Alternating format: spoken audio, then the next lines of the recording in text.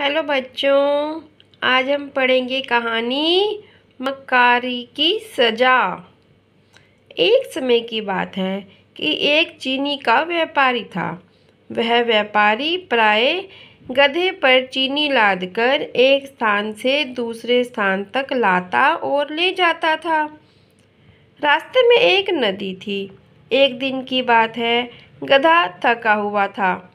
उस पर उस दिन भार कुछ ज़्यादा था। नदी पार करते समय गधे का पैर फिसल गया।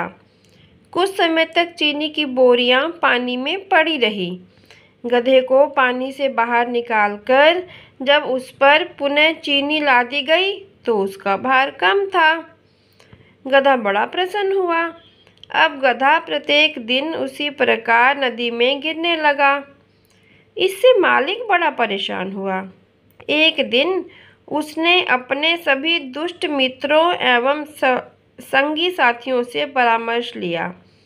उसके साथी गधे की चाल समझ गए।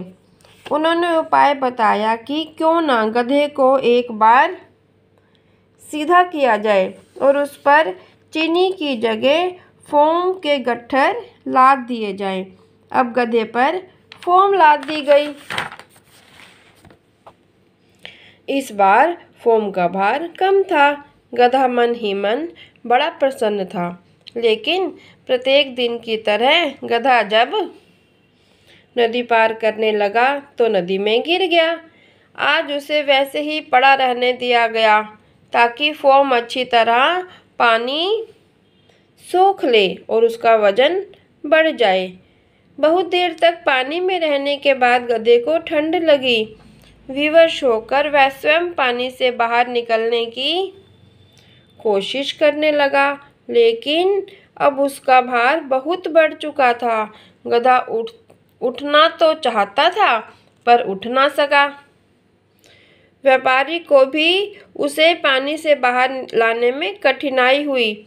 अंत में किसी चलते राही ने सहाय किसी चलते राही की सहायता से वह गधे को पानी से बाहर निकाल पाया। गधे ने महसूस किया कि उसका भार हल्का होने के स्थान पर बहुत ज़्यादा भारी है। उसे चलने में बहुत परेशानी का सामना करना पड़ रहा है और ऊपर से भार गधा जैसे तैसे घर पहुँचा और इसके बाद गधा कभी कभी भी पानी में नहीं गिरा।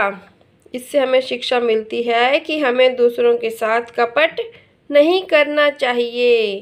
Thank you for watching please like share and subscribe my channel